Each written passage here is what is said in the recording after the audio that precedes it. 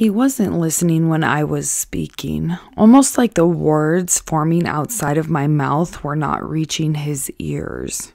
We fought for years to get here. He pressed rewind. He said I was not capable of making decisions, almost like my body was missing a mind, and he would be graceful enough to insert one for me. So I spoke louder.